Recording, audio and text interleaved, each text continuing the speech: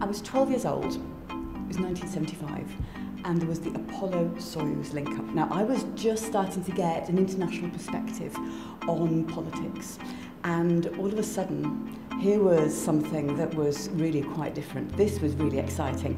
This was now um, two sets of people on opposite sides of the Iron Curtain who had clearly come along with different views from the past, but they were working with the same laws of physics.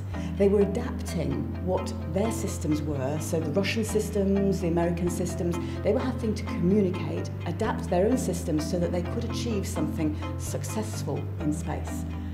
And then when I saw on television on the 17th of July in 1975, the hatch was opened and Tom Stafford and Alexei Leonov shook hands. There was this overwhelming joy that was absolutely palpable between these two people. 40 years later, on the occasion of Tom Stafford's 85th birthday, he chose to spend that day in Moscow with Alexei Leonov. And that really is inspirational on so many different levels, in so many different ways. Space inspires.